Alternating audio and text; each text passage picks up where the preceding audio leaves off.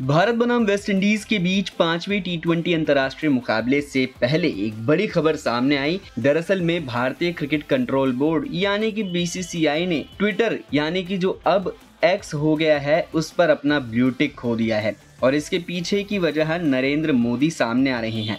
जी हाँ आपको बता दें कि 15 अगस्त, यानी कि स्वतंत्रता दिवस पास है, और ऐसे में भारतीय प्रधानमंत्री नरेंद्र मोदी ने एक बार फिर से देशवासियों से एक आग्रह किया कि सभी अपनी सोशल मीडिया डीपी हटाकर तिरंगा लगा ले। अब जब नरेंद्र मोदी जी ने बात कही है तो बीसीसीआई कैसे ना उनकी इस डिमांड को पूरी करे? बस फिर क्या था?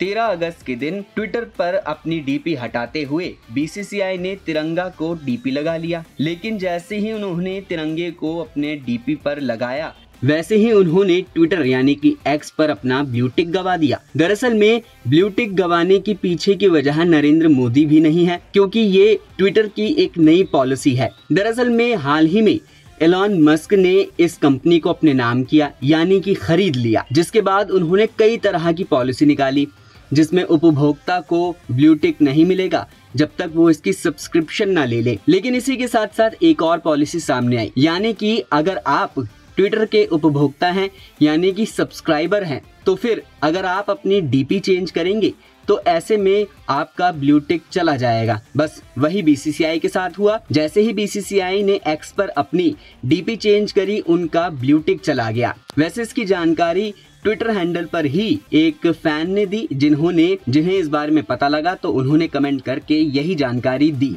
लेकिन इसमें डरने वाली बात नहीं है। जब एक बार जाँच पड़ताल होगी तो फिर से बीसीसीआई को उनका ब्लू टिक वापस मिल जाएगा। अगर आपके पास भी ब्लू टिक है और आप भी तिरंगा एस डीपी लगाने की सोच रहे हैं तो ब्लू टिक खोने के बाद थोड़ा धैर्य रखिए, क्योंकि वो आपको वापस मिल ही जाएगा। इस खबर में फ़िलहाल इतना ही। बने रहिए वन इंडिया के साथ।